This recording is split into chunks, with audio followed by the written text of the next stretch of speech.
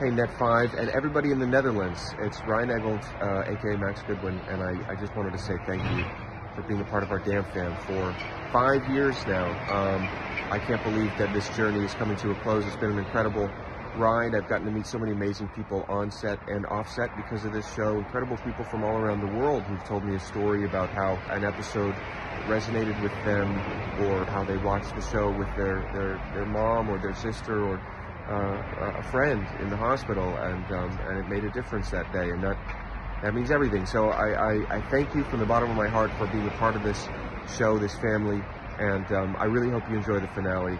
And I really hope to get back to Amsterdam soon because it's one of my absolute favorite cities. Vondel Park is the most beautiful park in the world, and uh, I'm going to try to say thank you in Dutch now, but I'll probably butcher it.